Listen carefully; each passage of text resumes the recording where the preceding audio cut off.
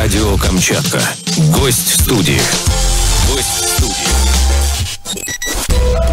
Не отпускает нас пацанская тема, и сегодня будем рассказывать вам о новой схеме мошенников, которые буквально предлагают от пацанов стать авторитетами и дают слово пацана, что станут все богатыми и будет много денег. И разбираться будем вместе с нашим гостем. Это Костюченко Вадим Анатольевич, начальник отдела безопасности Краевого отделения Банка России по Камчатскому краю. Здравствуйте. Доброе утро.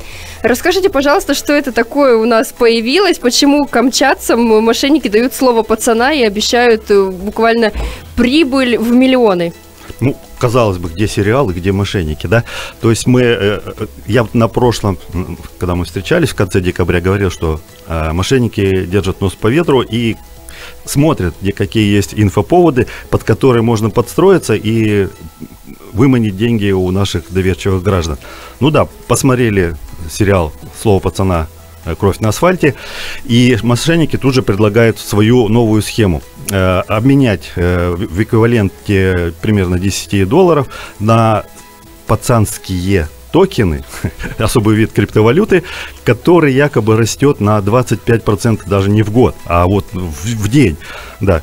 И э, чтобы взлет этой валюты якобы был круче, а денег и прибыли было больше, необходимо привлекать, как они советуют, как можно больше родственников, друзей, знакомых, то есть на лицо явные признаки чего? Финансовой пирамиды. Правильно, все мы грамотные уже это понимаем. Вот. И э, этот сайт специально сделан в таком виде, что якобы это имеет какое-то отношение к этому сериалу, что эти основатели, как бы вот, да, дают слово пацана, что вот эти токены пацанские, они вырастут потом в цене, вы будете богатыми и, и счастливыми. Но, естественно, как мы понимаем, всякая пирамида а заканчивается ровно в тот момент, когда новых э, участников уже нельзя привлечь, пирамида рассыпается, и в прибыли остаются только те, кто находится на вершине этой самой пирамиды.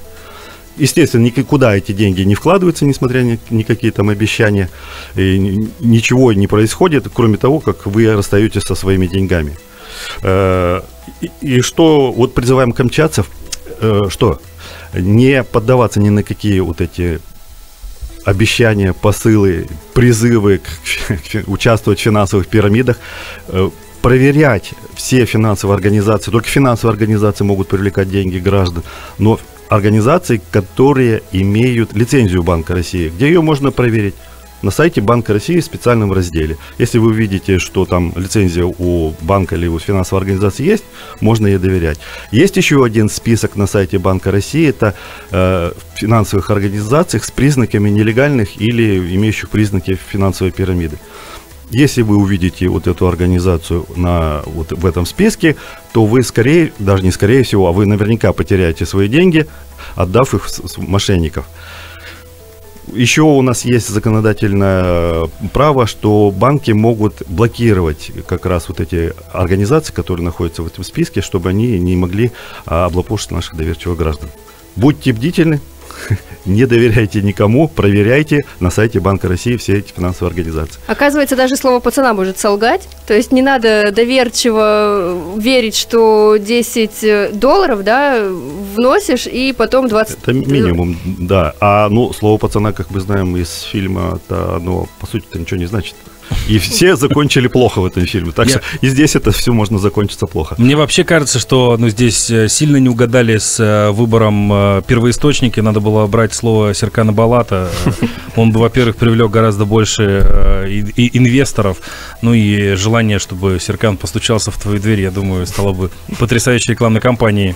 Да, кстати, вот знаешь, я уже такая задумалась о том, что а вдруг какой-нибудь моей подружке постучался бы Серкан Балат, но на самом деле деле страшно, что мошенники у нас так идут в ногу со временем. Вот буквально недавно мы разговаривали о том, что меняют рубли, Угу. Мошенники ходят по квартирам и предлагают обменять деньги на новые рубли, взамен дают э, фальшивки. фальшивки. А вот сейчас посмотрели сериал и решили, что, о, А может быть, будем давать слово пацана под честные?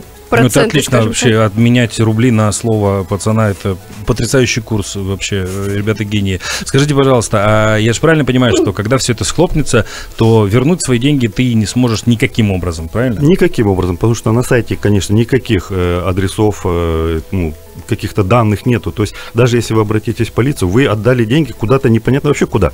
Куда-то отдали его в недра интернет, э, на, положили на криптокошельки, которые анонимные. Ну, ну это все, это пропали деньги на самом деле. То есть даже когда э, Центробанк, допустим, заблокирует эту э, организацию, назовем ее так, то с их активами уже сделать ничего будет нельзя, потому что все это децентрализовано ну, и все. Тут даже, скорее, да? и организации-то нет, потому что люди будут находиться в разных частях света, и это какое-то, может быть, сборище просто мошенников, которые организовались, э, сделали сайт и привлекают деньги ну, это даже, может быть, и не организация. Банк России тут ну, практически бессилен что-то сделать вместе с правоохранительными органами.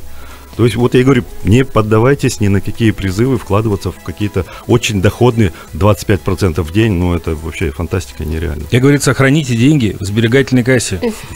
А вообще верят, да, у нас люди тому, что бесплатный сыр есть в мышеловке, положишь 10 рублей, а завтра станешь миллионером? Если бы не верили, мошенников бы не было. Они есть, схемы придумывают, значит, кто-то на эту удочку попадается.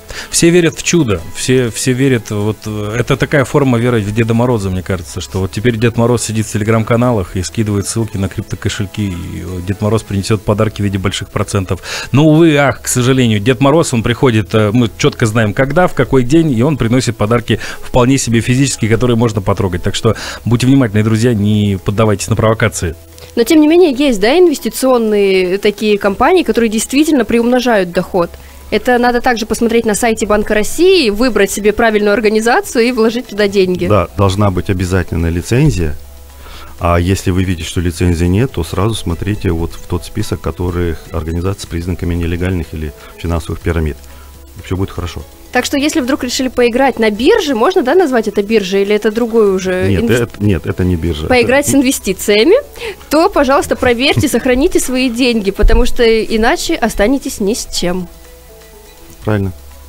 Вот. Ну и какой совет можно дать еще раз камчатцам, в очередной раз, да, напомнить о том, что не верить ни пацанам, ни мошенникам? Прежде чем вкладывать деньги, себя остановите, дайте себе паузу, лучше в несколько дней, посмотрите, что это, по, посмотрите в интернете какие-нибудь отзывы, ну просто вбейте в поисковую строку и, по, и посмотрите, что она, ваш запрос выдаст. Если ну, вы видите, что отзывы негативные, или эта компания только что вот появилась, тем более, если там в списке они есть, ну это все, никому верить нельзя.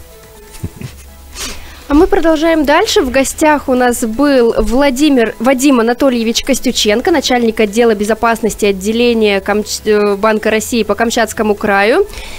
Спасибо вам большое. Спасибо, что пригласили. Гость в студии на радио Камчатка.